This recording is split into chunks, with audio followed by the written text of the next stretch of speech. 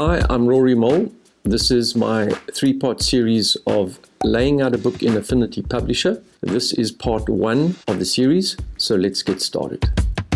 Now, we've just opened, I've just opened Affinity Publisher, and I'll be laying out a book.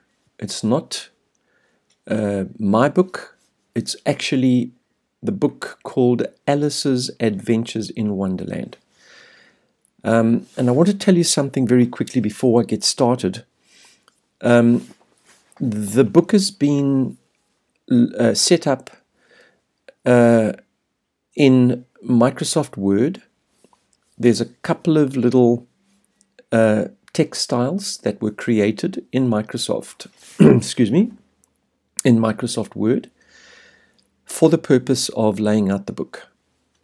So the book is going to be imported through the place command into Affinity Publisher.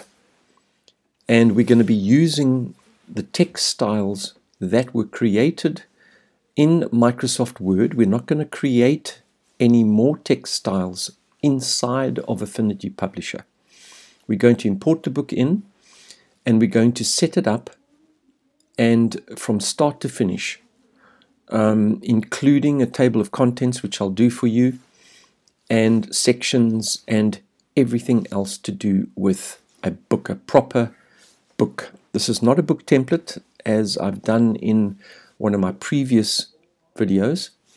This is to actually set up a book. Now I want to say from, from the start, you need to make sure that your text styles within Microsoft Word have been set up very simply and not a lot of them, just a few of them, as few as possible, and uh, so that the import process will be seamless. Okay, so let's get started. Uh, and we'll start by creating our book. It's going to be A5. That's the size that I choose. Uh, the margins and so forth down here have all been set by the previous uh, book that I've done. Uh, you'll notice margins um, are 17 all round with the exception of the inner margin which is 23. Um, obviously orientation is portrait, uh, the sizes, everything else, DPI 300, facing pages, one page, and everything else can be left as is. All right, so I'm going to create. All right, there we go. We have now created our first page.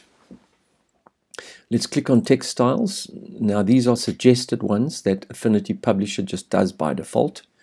We don't want any of those. We're going to detach and delete them. There it is. Go to your text styles panel and detach and delete all the styles. Now there's no styles. Good. Now we're going to set up our master A page under master pages. There it is on the left. Double click on it. There we go. We're going to set it up. Drag uh, a, um, a guide down to about there. Drag a guide down at the bottom again about there and let go. Should be the same kind of distance. And if it's not, it's okay. Just, you know, just work it out for yourself. And drag some guides towards the margins, just on the margins. Set them on the margins. Uh, just takes just a few seconds longer. There you go. Now we get our text tool, our text frame tool. Draw out a text frame about so big. There it is. And uh, select uh, center alignment and then go to the uh, vertical center alignment as well. You want the cursor to be right dead center in the middle. All right, um, I'm going to choose a font which will be Adobe Caslon Pro. It's one of my favorite fonts and that's what I'm going to go for. I'm wanting semi-bold. That's it, it's going to be semi-bold. And we're going to type in here Alice's, oh, what have we done? Let me just get this back. Alice's a L I C E. Alice's Alice's Adventures in Wonderland.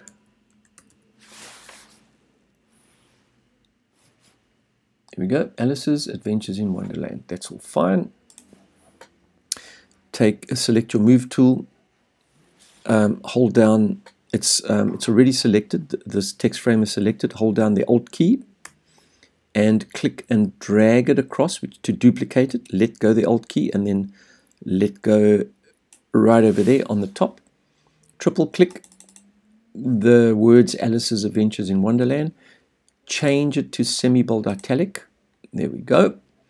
Go to the text menu, come down to Insert, and go across to Field, and you want to insert a section name. There it is. Get the Move tool again, same thing, hold down Alt, the Alt key on a Mac. I I'm not sure what it is on Windows, but you can work that one out.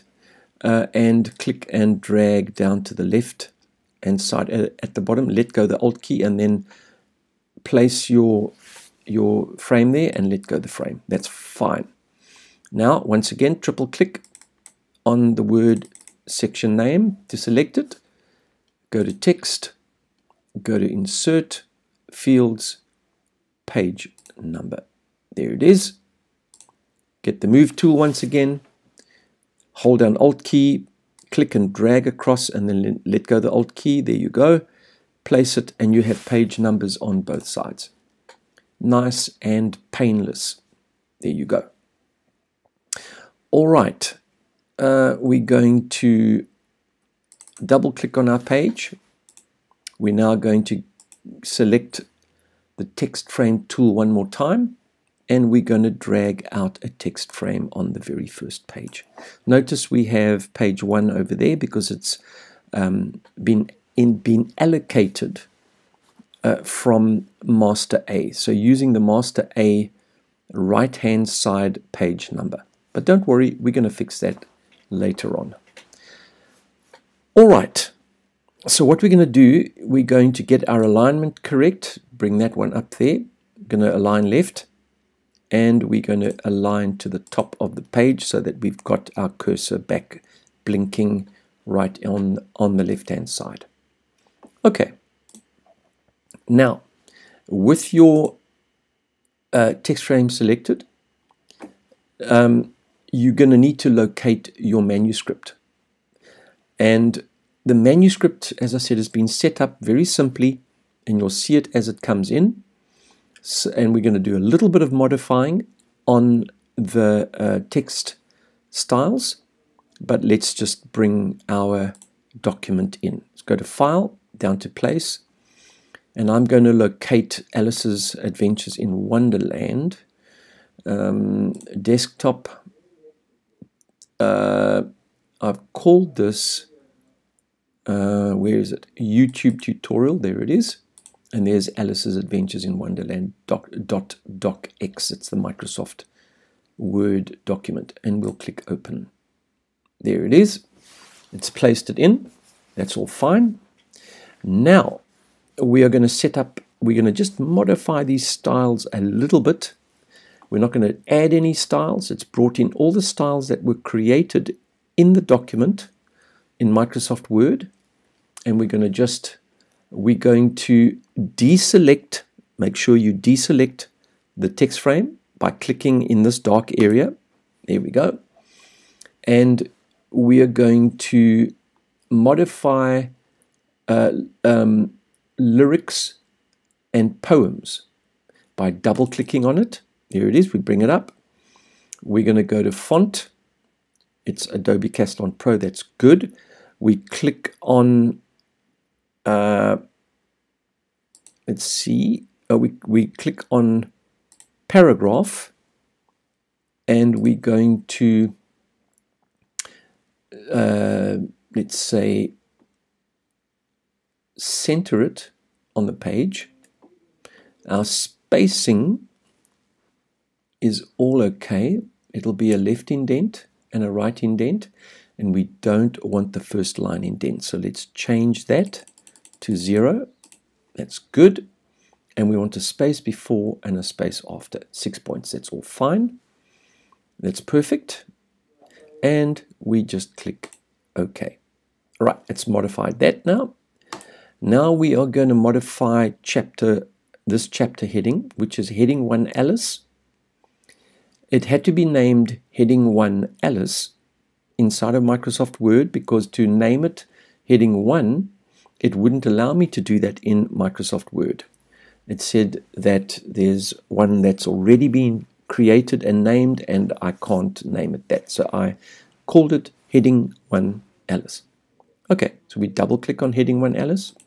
There it is to bring up this little dialog. Our font is Adobe Caslon Pro, it's 20. We're going to go down to paragraph spacing. There we go. The alignment is center, that's all good. But we're going to come down here to space before. We're going to double click on the number 12. It'll only select 12, there it is. And we're going to make that 260 points. Now the space after is going to be 8 points. Here it is.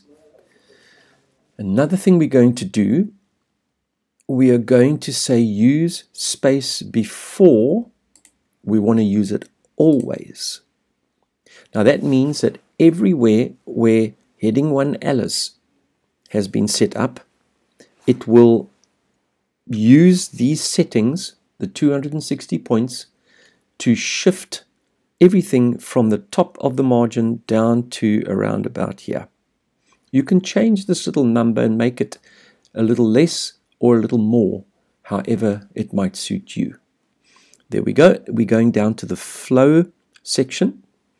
We're going to say we want every one of heading 1 Alice to begin on the next odd page. There it is. Click that. We want to prevent orphans, orphan first lines, and we're going to prevent widow last lines. And everything else is fine, and we say OK. That's good. Still, we have not selected our text frame tool. Keep it unselected. Go to heading 2, double click on it. Now, I know you're not following with me on the actual um, Word document, but your own Word document, you'll be able to do all of these different things. Now, we're going to go to our paragraph area. It's and and we're going to set up the space before to be zero. I'm going to just change this to zero. The space after we're going to change to to to 10 10 points and that's all we require. There you go. Okay, now we are ready to flow our text out over the rest of the book. We're not going to create pages, you don't need to. Affinity Publisher will do all of that for you. This little triangle down here is what you're going to go for. Don't worry about this little icon. It just enables you to see the rest of the text. We don't need to see that right now. Hold down the shift key right now. Go to that little uh, triangle. Now your cursor changes and just click on the triangle. Just like that. Just once. And notice it will take a couple of seconds and it will flow out all your text over all the different pages uh, of your document. There you go. Scroll back up to the top and let's go and have a look and see what has actually happened. In this page we're at the end, but let's go back and double click on the thumbnail and you'll notice when you see on the left you can get a nice representation of how your text is laid out. Now we're going to fix a few things and just follow me now. Um, there's page one with our chapter one. Now obviously there are other pages that are going to be created before this, which we will do just now. Now we'll just scroll down. You'll notice uh, on the right hand side, the section hasn't been set up yet, which we will need to do later on in the section manager. That will bring the right running header out on the side. We've got our page numbers, that's all good. But we don't want a page number on the on the first page, but we've got one. So what you do is you right click on the first page and you clear masters. There it is. It removes the page number. But everything is still set up nicely. Now we will go down. We'll keep on going. This page doesn't need, have a look here. We don't need that there or a page number. We want that one to be blank on the left because a new chapter starts on the right. To see both pages nicely, hold, um, hold down Control and press the zero key on your keyboard. There you go. It now centers it in your workspace. Right click on this little thumbnail here on the left and say clear master. You're going to have to do this a few times with the other ones on the way down. Let's keep on scrolling and we'll do this for this one here. Now you will need to do this on your document, Clear Masters, and I'll just go through this nice and quickly and do this. And you need to do that on your document as well if you're using this method that I've done to lay out uh, my text from Microsoft Word. All right, there we go. We just want this to be nice. Clear masters. There it is again. It's fine. This is the minimum amount of work for a maximum uh, effect. All right, I'm just clearing some more masters here. And I think we're done. All right, we are done. Thanks for watching and subscribing. The link for part two is in the description below. If there's anything else you would like to learn about Affinity Publisher, I would be happy to hear from you. Please post your suggestions in the comment section below. Thank you very much for watching.